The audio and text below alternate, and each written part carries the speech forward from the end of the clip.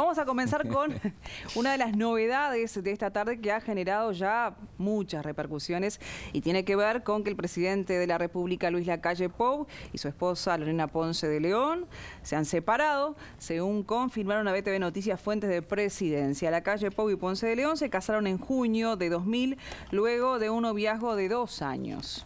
Más que repercusiones, chusmerío, ¿no? Porque no hay ninguna información más que esta. Fui sutil. Eh, esto es de ayer, estas imágenes que estamos viendo son la última vez que se les vio juntos. Eh, y bueno, Ponce de León encabeza el programa Sembrando para Emprendedores que funciona en la órbita de presidencia.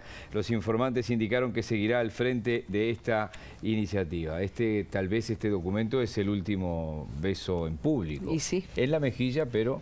¿Qué separación viene hacia la apreciación ese instante? No es divorcio. Sí, sí. Este, en la Argentina ya hay repercusiones de todo tipo. Están a 10 segundos de la Argentina de poner en crónicas el soltero más codiciado visita la Argentina. realmente. Están ahí a 10 Puede suceder en 3, 2, 1.